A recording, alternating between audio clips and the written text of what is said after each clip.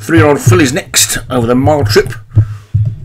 A thousand guineas.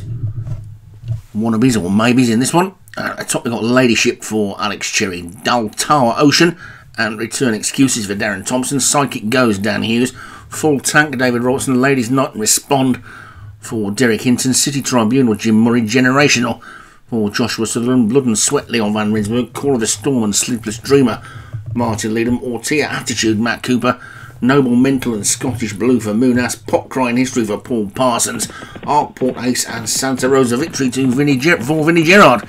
So all installed and ready to go. Welcome to Paul Parsons and away we go. Off and racing. And Blood and Sweat was quickly out.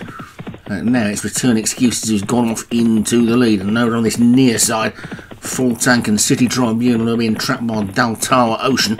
They're not only going to split into two packs. Looking towards the back, Sleepless Dreamer is the early back marker. But Return Excuses over on the far rail has got a clear lead being chased by the Vinnie Gerard pair, Arkport Ace and Santa Rosa Victory. Down on this near side, it's, it's Deltawa Ocean that leads that group from Full Tank, and then City Tribune at the centre of the track. Leon Van Rensburg's Blood and Sweat is being trapped by one of Derek Hinton's horses, Ladies Night, I think that one is, looking towards the back. Or Tier Attitude is the back marker. Sleepless Dreamer also towards the back with Ladyship, but it's Return Excuses who continuing to lead past the four by about two lengths to Blood and Sweat in second. City Tribune closest to us is third. Right over on the far side, the grey in the green jacket is Santa Rosa Victory. Noble Mental is also trying to get into it. Full tank still running on as well. Coming through with everyone. Also Call of the Storm trying to get into it.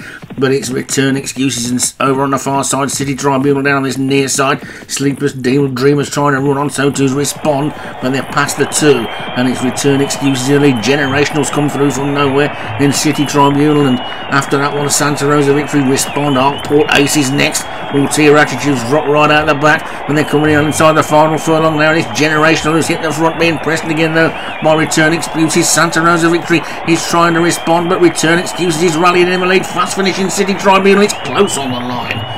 It's mighty close on the line, but I've got a feeling that Darren Thompson's horse, who led most of the way, may have found a bit extra and stayed in front. Indeed, it did.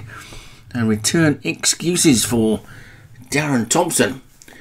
The winner, City Tribunal for Jim Murray was second, Generational for Joshua Sutherland was third, Arkport Ace for Vinnie Gerard was fourth, and Full Tank for David Robertson was fifth.